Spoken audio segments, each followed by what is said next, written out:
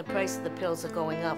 Unless something is done and they get at these uh, pill makers, the seniors just can't afford it. It is fundamentally dehumanizing to think that your human value is determined directly in proportion to the amount of dollars in your wallet.